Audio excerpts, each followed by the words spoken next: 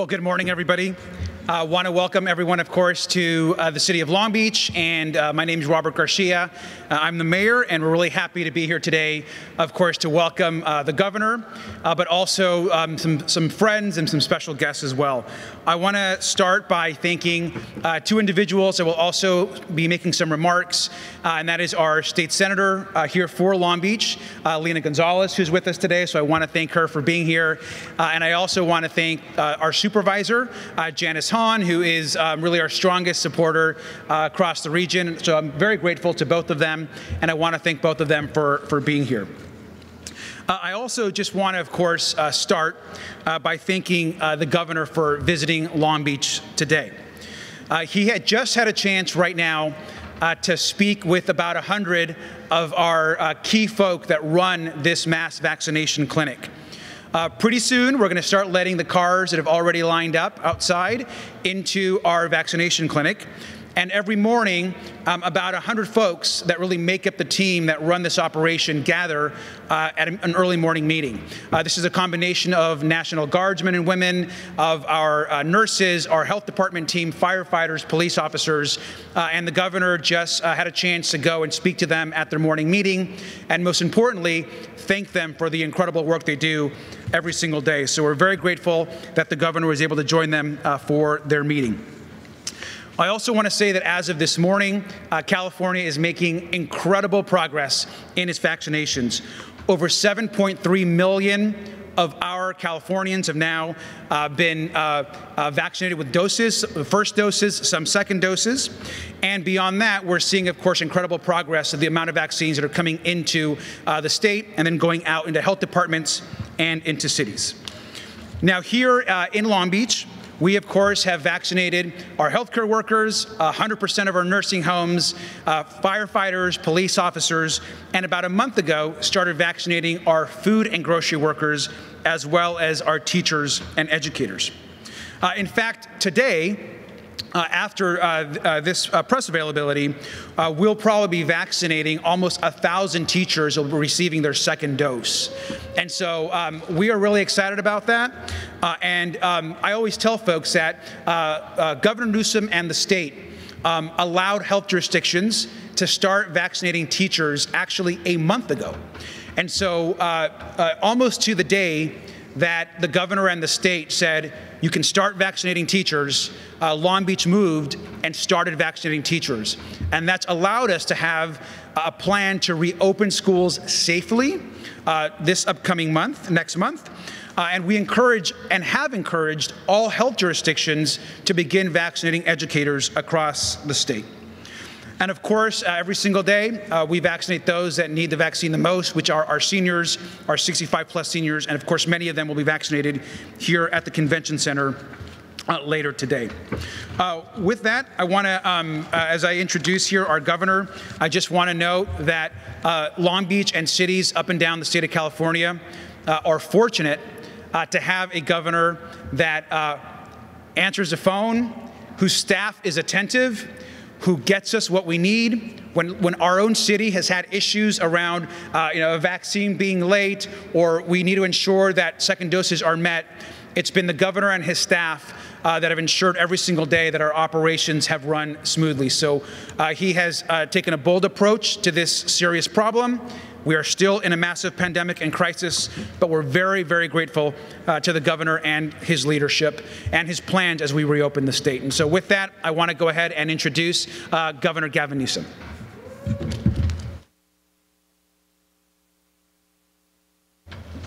Thank you, um, Mayor Garcia. It's an honor to be here um, and to see firsthand what we've all been reading about, we've been talking about up and down the state of California, and that's leadership by example. People that get it, but more importantly, get it done. Uh, Long Beach has been a demonstrable leader in the vaccination efforts and our testing efforts. Throughout this pandemic, Long Beach has been a standout, an exceptional example of a city at scale doing remarkable things. I said to the team outside, that includes many of our uh, National Guard men and women, firefighters, nurses, nurses now from all over the country uh, that are also helping support these collective efforts, um, that uh, success leaves clues.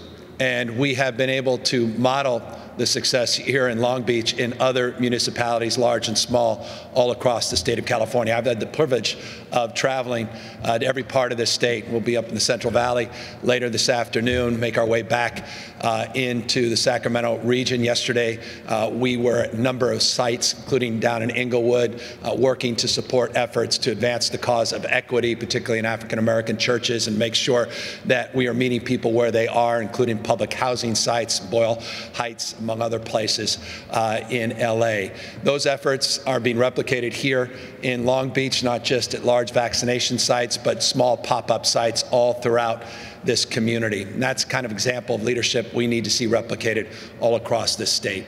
Uh, as the mayor said, uh, we now have vaccinated over 7.3 million people. In fact, in a few hours, that number will be updated. We're getting close to 7.5 million people that have received at least one dose of the vaccination. That's now more than country of Israel. Uh, there are only a few countries in the world that have vaccinated more people than the state of California. We're averaging just shy of 200,000 doses administered each and every day. About 1.4 million were administered over the last week. And while that's important and significant to highlight, it's also important and significant to highlight this stubborn fact. There's not enough vaccinations. There's not enough doses. There's not enough vaccines to accommodate the need and demand. Just at this site, they're running about a third of capacity. Sites all across the state of California are toggling back based upon limited supply. That's a manufacturing issue. Manufactured supply in the United States of America is limited. And while it's good that we are administering roughly 200,000 doses a day. We're receiving just shy of that if you average the amount of doses we receive on a weekly basis. It was about 1.3 million we received last week. This week we anticipate receiving about 1.4 million next week. And we are, we're very grateful for the visibility now from the Biden administration. We'll receive about 1.5 million doses of the vaccines. It's simply not what we're capable of administering meaning we could do exponentially more, but nonetheless, we are seeing modest improvement week to week, and that's allowing us to not only take care of vaccinating the vaccinators and vaccinating our most vulnerable, our seniors, but as the mayor has been doing for now weeks and weeks, vaccinating our teachers as well so we can get our kids back into in-person instruction, which is foundational and fundamental and critical to their social and emotional health. It's foundational in terms of getting this economy open. And if you care about women, you care about moms, particularly single mothers, there's nothing more essential and more important we can do to support working women and single moms in particular than getting our youngest kids back into school in cohorts where we can do it safely. And Long Beach is not waiting around to do that. This mayor has been doing that for weeks and weeks. 35 counties have been for weeks now administering doses of vaccines to teachers, but none at the level that Long Beach is doing. As a consequence of that leadership, they announced a date to reopen their schools for their youngest cohorts for in-person instruction. And I just want to applaud that. I want to recognize that. And I want to encourage that to be replicated all throughout the state of California. The state has put out guidelines that allow for safely reopening these youngest cohorts. We can begin that today. At the same time, we recognize we must do it safely. We must value our educators. And our educators are not just our teachers. Our educators are all the classified staff Educators include the people that make schools work, cafeteria workers, bus drivers, our custodial staff, and that's why this state is prioritizing an additional 75,000 doses every single week. 10% set aside of all the first doses the state of California receives will be going directly prioritized to that cohort to our educators and child care workers, which are also essential to getting our schools reopened as well. So we're moving in that direction with clarity, with determination, but cities like Long Beach are not waiting, and we encourage others not to wait to prioritize this cohort, recognizing that scarcity is the limiting factor as it relates to the existing tiers and the need and desires of tens of millions of Californians to get these vaccines. Two brief final words.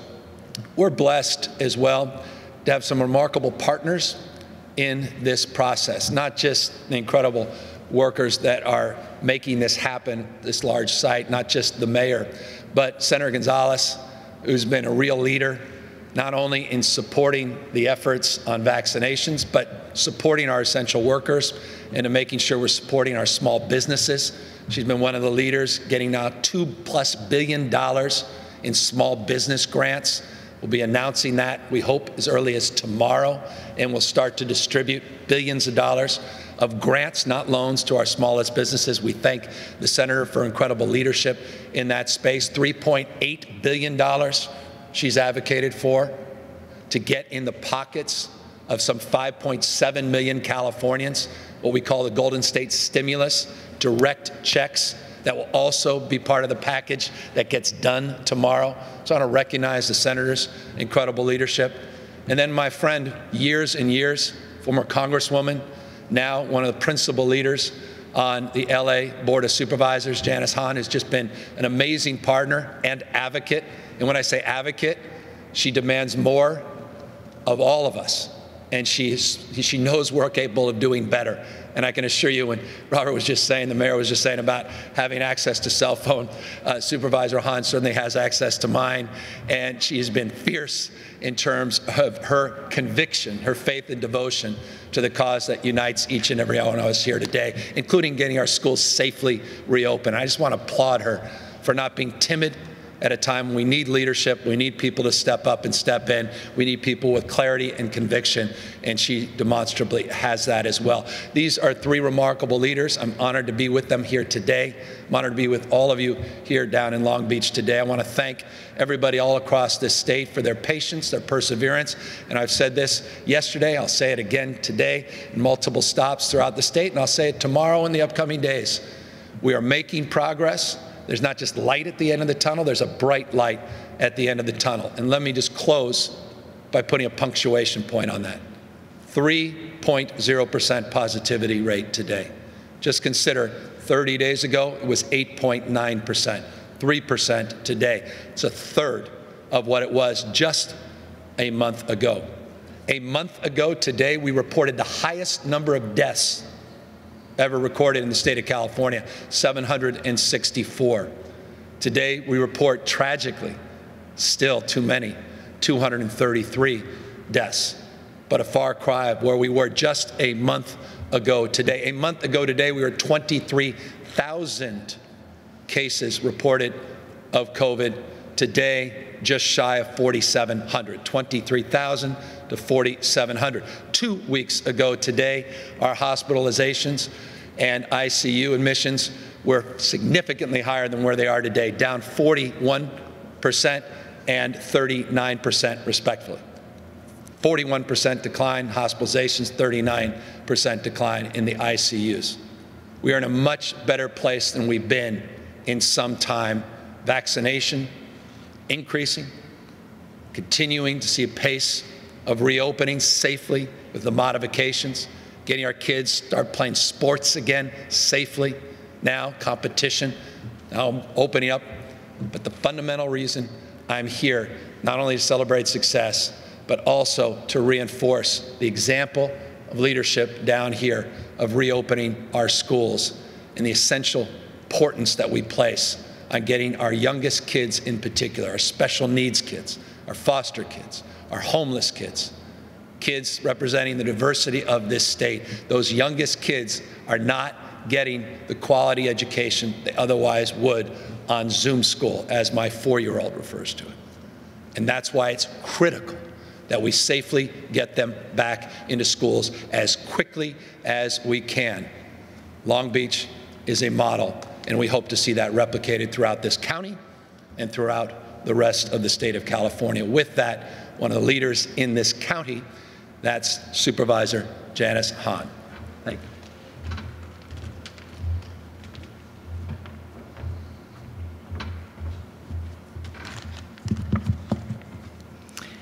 Thank you, uh, Governor Newsom for being here uh, today in beautiful uh, Los Angeles County and even more beautiful uh, city of Long Beach. And thank you, Governor, for your leadership, your incredible hard work uh, day in and day out for the people of California. None of us uh, in elective office uh, ever trained to govern during a pandemic. And the decisions that we've all been asked to make uh, while we thread the needle between protecting people's public health and protecting people's jobs and the economy has really uh, been untenable uh, for all of us. Uh, you uh, have shown great leadership. I haven't called you that many times. Uh, and thank you, uh, Majority Whip Senator Lena Gonzalez, for your advocacy on behalf of all of our communities here in LA County. Yay, California, uh, for the stimulus uh, bill that you're about to pass and announce. Yay for California. Yay for the governor. Uh, yay for uh, Speaker Rendon. yay for all of us because you know what? We're still waiting for the federal government.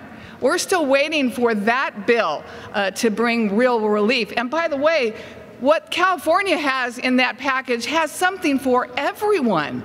Uh, it has uh, real money uh, for people who need it desperately now. It has money so people can pay the rent money for property owners so they can pay their mortgage, uh, money for financial aid for our students, money for more food in our food banks. Uh, it is really an incredible uh, package, and we thank you uh, for doing that. And of course, thank you, Mayor Robert Garcia, and for your team here in your health department uh, for uh, really getting the job done and getting Long Beach vaccinated and beyond. We did just have an opportunity uh, to tour uh, the vaccination site here at the convention center and talk to the people running this effort. I talked to two school nurses uh, here in Long Beach. School nurses are a rarity in themselves. These two nurses said what they're doing here, vaccinating people, was the high point of their calling as a nurse. That's how important vaccination has become, and Long Beach's vaccination effort has become a model. And because you've been able to be nimble and effective, you were able to vaccinate your healthcare workers quickly. Then you moved on to vaccinate seniors quickly. And now you're in the process of vaccinating childcare workers, food industry workers, thank goodness our dock workers, and our teachers. And I've been an advocate for vaccinating our teachers as quickly as possible so we could protect them and we could get our students back to in-classroom learning. And thank you, Governor Newsom, for your decision to dedicate 10% of the doses to our teachers. And that's going to be a huge help as LA County begins also vaccinating teachers and school staff next week. And even while they've moved quickly, Long Beach has been able to move equitably and have brought vaccinations to their underserved neighborhoods that have been disproportionately affected by this terrible virus. I would like to see a bigger allotment. I want to say this, Mayor Garcia. I want to see a bigger allotment of doses to come to you. You've shown that you take your doses and you get them out quickly and you move through all these sectors while sometimes the rest of the county seems to be struggling. I want to see you get more doses so you can help us vaccinate Signal Hill and Lakewood and Catalina. I would love to see you just get more doses. So Governor, you and I are going to work together uh, to get Long Beach uh, more doses because they know how to do it right. Uh, and you know, before I hand the microphone over to uh, State Senator Lena Gonzalez, I just want to say how inspiring it is to see my friend Mayor Garcia leading this effort. You know, we've lost almost 20,000 souls to this virus here in LA County. Two of those were his parents. And the grief that he must have felt, and yet every single day showed up to continue to advocate for testing and vaccines so that other families would not experience the grief that he did. That's inspiring. That's a hero to me. Thank you, uh, Mayor Garcia, and thank you for hosting us today. And now I'd love to turn the microphone over to Senate uh, Whip. What's your title? Majority Whip. Senator Lena Gonzalez. Take it away. I know. I apparently got a lot of titles uh, these these days, but uh, one title I do have is mom, in addition to state senator. And so I want to thank you, uh, Governor Newsom. Thank you, uh, Mayor Garcia, and thank you uh, to Supervisor Hahn. You know, as a state senator, yes, I'm heading up actually after this uh, to Sacramento to make sure we get the work done for the people of California, as the governor alluded, and to ensure that we actually have resources and dollars in their hands to support them through this very challenging crisis and pandemic. And I really want to thank Governor Newsom to have, for having the foresight to be able to help us through that. And as a mom, I'm very, very excited here in Long Beach to be able to say that I can send my child off now as, as a six-year-old on March 29th, that he can go into school and be with friends and be with his teachers, and that 7,000 teachers here in, in uh, Long Beach have been vaccinated. That is to be commended. As we know, it's been a powerful beam of light here in Long Beach that we have had so many of our essential workers vaccinated and that they've done so fast, they've done so seamlessly, but more so with intentionality. We know that black residents, Latino residents, especially our API community and the Cambodian community here deserve more attention. We know that they've not received the shot in many ways in, in, the numbers that they should, representative to their population. But we know that this is a good pilot program for the rest of the state to carry, and we thank the good collaboration between state, local, and federal government to be able to make this happen so that our Black, Black Latinx, and API communities get the vaccines that they deserve. It's the types of innovative strategies here in Long Beach, like large vaccination sites, translation and interpretation services, such as Spanish and Khmer, and listening and collecting public input from the community, as well as using mobile vaccine sites. I also want to thank the governor as well for having a mobile vaccine site in the city of Bell in the southeast communities, which is very, very important for LA County. I look forward to seeing the rest of these efforts and then just call me up and let me know what I need to do to be able to work collaboratively to, say, to ensure that we have all of Long Beach vaccinated sooner than later. Now in Spanish, gracias a todos por estar aquí presentes. Soy, soy, senadora Lena González y represento el Distrito 33 del Senado de California. Estamos aquí el día de hoy visitando uno de los sitios de distribución sorry, de vacunas de COVID-19 en la ciudad de Long Beach. Debemos continuar y replicar uh, esfuerzos como los que están llevando aquí a través de todo el Estado. Es importante que hagamos esto para lograr alcanzar equidad en, de vacunas de aquí, aquí en Long Beach para las comunidades más necesitadas, incluyendo la comunidad latina, africano-americana y las familias de bajos ingresos. I hope that we can all again work together, and I thank you all for being here.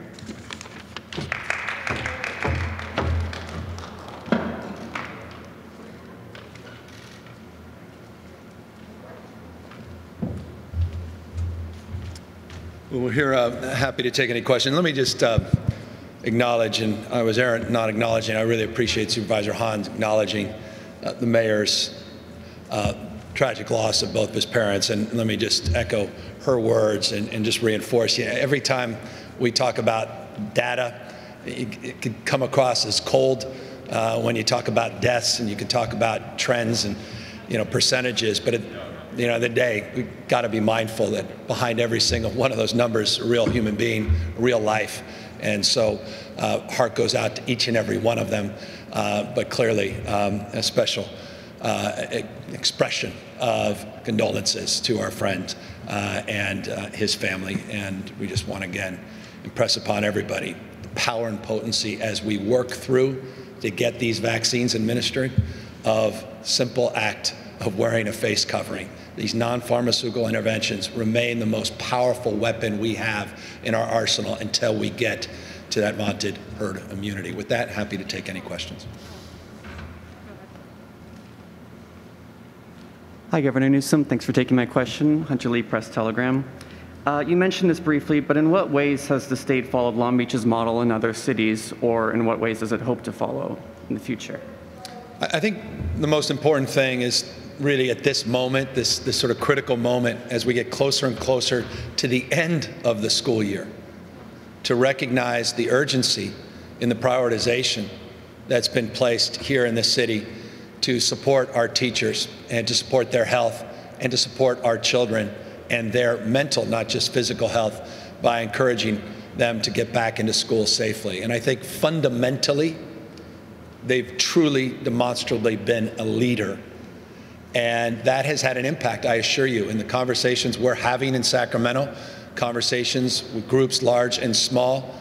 Consistently, Long Beach is called out as an example of a district and a community that should be looked at, should be considered, and should be modeled in terms of their efforts. So I just highlight that as a contemporary point, but I can go back to the beginning of this pandemic and the work in terms of getting PPE, the work that was done to get testing sites up and operational, the work on equity as other examples of models.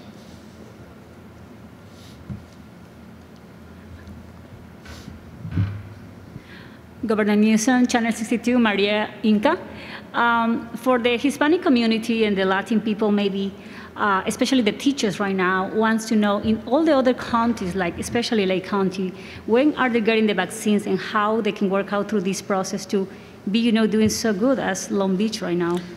No, I appreciate it. Look, I spent a good part of yesterday in the community. I, I noted where we were in Inglewood, uh, Boyle Heights. We were actually at a public housing uh, project at the Boys and Girls Club in the public housing project, disproportionately Latino. Uh, Ramona Gardens, remarkable community, knocking on doors. Talk about meeting people where they are. Look, at the end of the day, a lot of these mass vaccination sites are fantastic if you own a car. These mass vaccination sites are wonderful if you have access to the tools of technology to be able to figure out and navigate how to get a reservation. These things are wonderful if you have the privilege of even learning about the fact that they even exist. But for so many communities in this state, the most diverse state in the world's most diverse democracy, California, we have a special and unique obligation to meet people where they are in language, peer to peer, address vaccine hesitancy. One of the biggest issues yesterday in that public housing site was trying to combat all the misinformation about what these vaccines are and what they are not. And so, what we've done, and I want to just be brief in the response, but I also want to comprehensively respond because it's a foundational question. We put out uh, grants to 110 CBOs, community based organizations in this state, in order to meet people where they are, literally, not figuratively, not rhetorically, not as a platitude, but to truly, as trusted messengers, go into these communities, educate people, organize people, and encourage and identify sites to do pop up and mobile operations like those we're beginning to put and to deploy all throughout the state of California. That's foundational. We also put up a dashboard acknowledging in the aggregate as a state that we're not close to where we need to be in terms of meeting our equity targets, not even close to where we need to be. We need to own that. We also, notably, and I'll conclude this question, the response, operationalized last week, last Tuesday, six days ago, two large scale FEMA sites in partnership with the Governor's Office of Emergency Services. One in Alameda County and one in LA at Cal State LA. What is significant about those sites are the first partnerships with the Biden administration, doing 6,000 vaccines, vaccines a day, but it's the proximity of those sites to our diverse communities and underserved communities that made them distinctive and unique, not just because they were the first federal sponsored sites. And second, they have a mobile component and they're bringing these pop-up mobile units in and around those larger sites so we could substantively address the issue of equity. And that's just a model, another example of some of the efforts we're doing to address this fundamental issue of equity. Governor Newsom, uh, thanks again for visiting Southern California. Chris Ancarlo with KFI News. Uh, couple questions. Number one, looking at what Long Beach has done successfully, you go up to 710 to Pasadena, they've been vaccinating teachers for just as long as Long Beach. The two things about those cities is they have their own health departments. You look at uh, LA County as a whole, obviously a different situation. Does this show the need to reform public health in California? Well, I have strong opinions about reforming public health writ large. In fact, we've put out some very dynamic proposals in this space. One fundamental proposal, it's called CalAIM.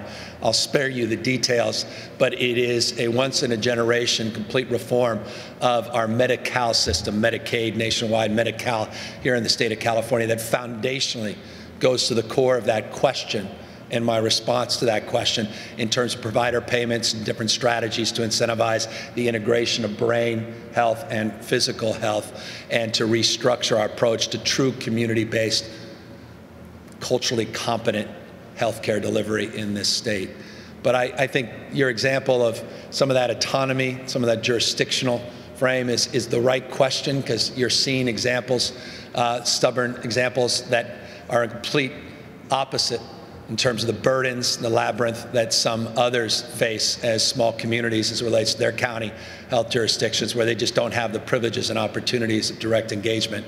And so the answer is yes. I think it only affords further opportunity to underscore the need to comprehensively reform our healthcare delivery system writ large here in the state.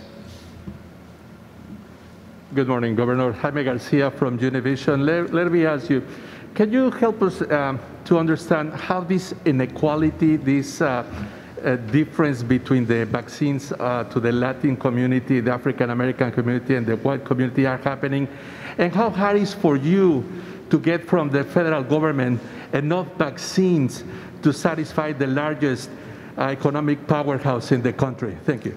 No, I, I look, I appreciate it.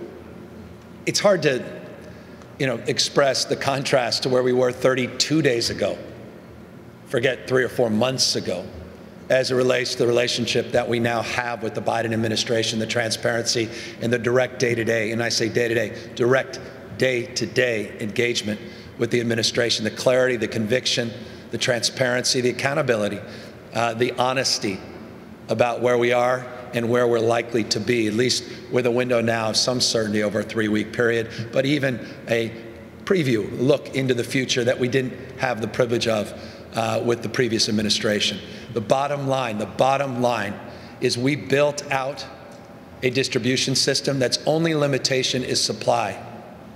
We have the capacity to get about four, our goal is to build out a system with capacity to get to 4 million doses that we can administer each and every week.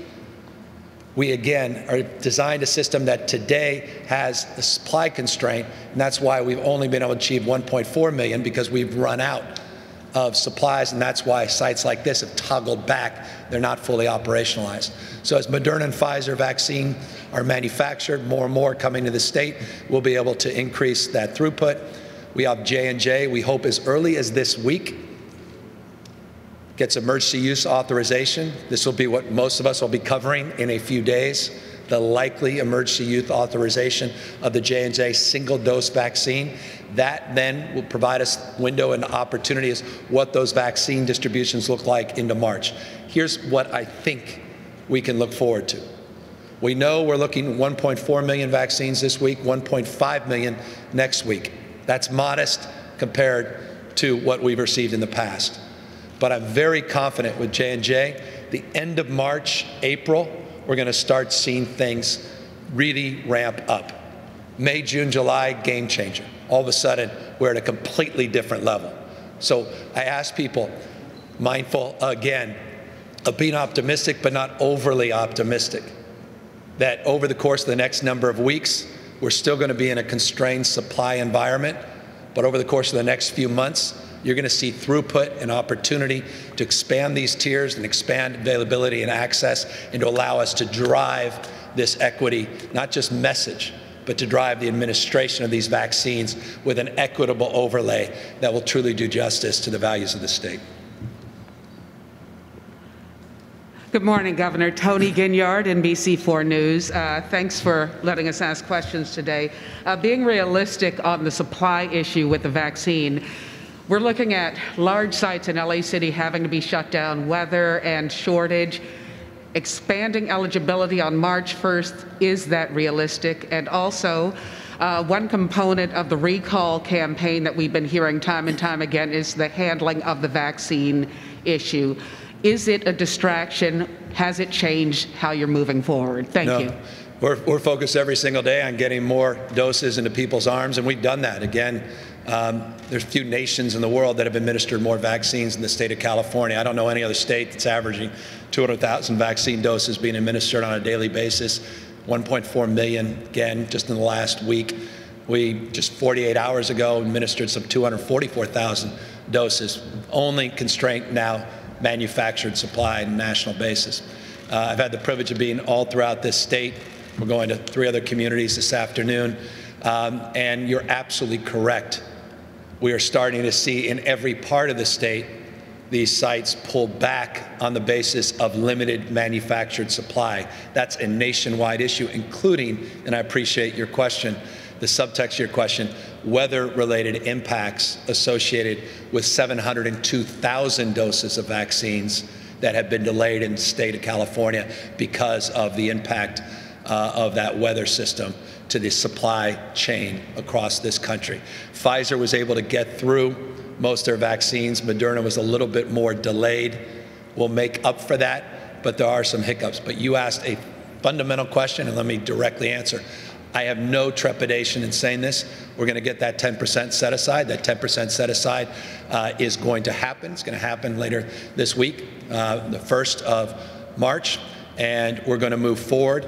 And that is a commitment, and we are resolved to get that done for our teachers and for our educators.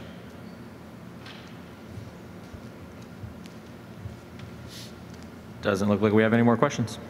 Well, I'm going to take advantage of that and, uh, and then take advantage of, uh, of thanking each and every one of you for the privilege of your time and thank everybody for the opportunity to update. But moreover, just thank all the incredible men and women that are here making this site and so many sites here in Long Beach possible, led by your extraordinary mayor, Mayor Garcia. Thank you all very, very much.